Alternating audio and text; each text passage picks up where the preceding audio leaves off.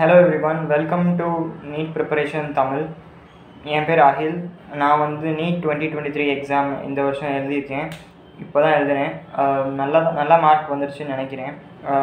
Result வந்தோடனே டெஃபினட்டாக share பண்ணுறேன் இந்த யூடியூப் சேனலில் இந்த வீடியோவில் நம்ம பார்க்க போகிறது கோஆர்டினேஷன் காம்பவுண்ட்ஸோட மேப் அதாவது நம்ம சேனலில் வந்து நம்ம கோஆர்டினேஷன் காம்பவுண்ட் ஒவ்வொரு லெசனுக்கும் வந்து ஒரு பிளேலிஸ்ட் போட போகிறோம் அந்த அந்த பிளேலிஸ்ட்டோட ஃபஸ்ட்டு வீடியோவில் அது ஃபஸ்ட் வீடியோ வந்து ஒரு மேப் வீடியோ மேப் வீடியோனா என்னென்னா ஒரு லெசனில் என்னெல்லாம் கான்செப்ட் இருக்குது எந்த கான்செப்ட்லாம் ரொம்ப ரொம்ப இம்பார்ட்டண்ட் அப்புறம் எந்தெந்த கான்செப்டை எந்த ஆர்டரில் டீல் பண்ண போகிறோன்னு ஒரு ஃபஸ்ட் வீடியோவில் ஒரு இன்ட்ரொடக்ஷன் மாதிரி ஒரு லெசனோட இன்ட்ரொடக்ஷன் மாதிரி ஒரு மேப் வீடியோ போட்டுருவோம் ஓகேயா ஸோ அந் இந்த அதுதான் வந்து இந்த கோ இந்த வீடியோ வந்து கோஆர்டினேஷன் காம்பவுண்ட்ஸோட மேப் வீடியோ ஸோ நம்ம கோஆர்டினேஷன் காம்பவுண்ட்ஸோட மேப் பார்த்துடலாம் ஓகே இப்போ அந்த மேப்பை பார்ப்போம். ஸோ கோஆர்டினேஷன் காம்பவுண்ட்ஸ் பிளேலிஸ்ட்டில் ஃபோர்டீன் கான்செப்ட்ஸ் ஓவரால் இருக்க போது ஃபோர்டீன் கான்செப்ட்ஸ் ஸோ அது ஃபஸ்ட்டு கான்செப்ட் என்னதுன்னா அடிஷன் காம்பவுண்ட்ஸ்க்கும் டபுள் சால்வ்ஸ்க்கும் என்ன டிஃப்ரென்ஸ் அதுதான் வந்து இந்த லெசனோட ஸ்டார்டிங் அதுக்கடுத்து பார்த்தீங்கன்னா டேர்ம்ஸ் டேர்ம்ஸ்லேருந்து யூஸ்வலாக கொஸ்டின்ஸ் வர்றதுக்கு வாய்ப்பு கம்மி.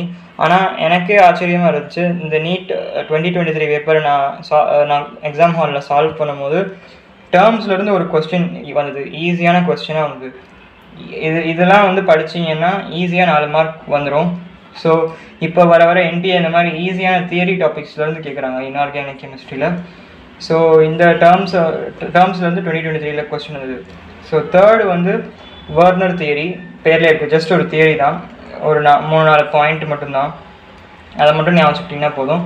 லிகன் கிளாஸிஃபிகேஷன் இந்த என்டையர் லெசனுக்கும் இம்பார்ட்டன்ட் லிகன் கிளாஸிஃபிகேஷன் இந்த லிகன்ஸ் பற்றி தெரிஞ்சால் தான் இந்த என்டையர் லெசனும் புரியும்.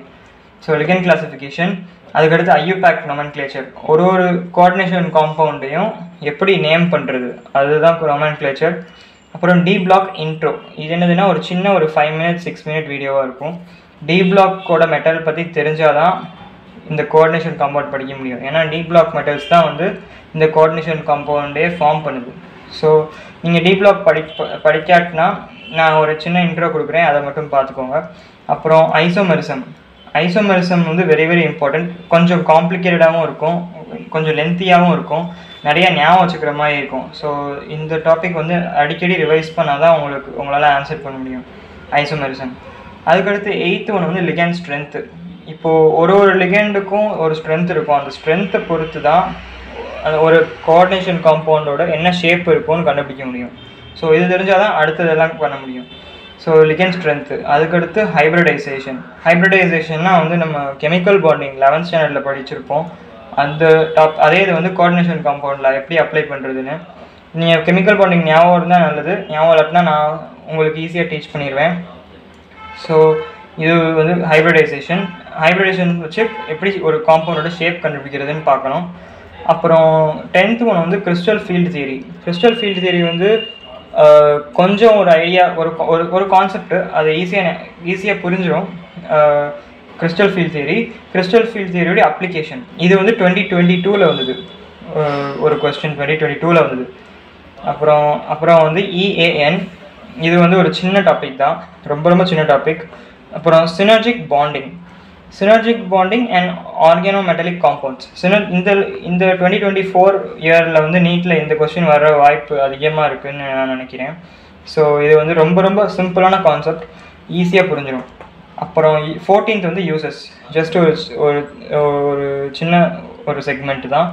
ரொம்ப ஞாபகம் வச்சுக்கிறது தான். கான்செப்ட் எதுவுமே இல்லை. So this is the map for coordination compounds நீங்கள் வந்து இப்போது லெவன்த் ஸ்டாண்டர்டில் கெமிக்கல் பாண்டிங் படிக்கலை இல்லை டுவெல்த்தில் வந்து இன்னும் டி பிளாக் உங்களுக்கு நடத்தலை அப்படின்னா கவலைப்படாதீங்க. இந்த இந்த வீடியோஸில் நான் உங்களுக்கு டீச் பண்ணிடுவேன் so let start the playlist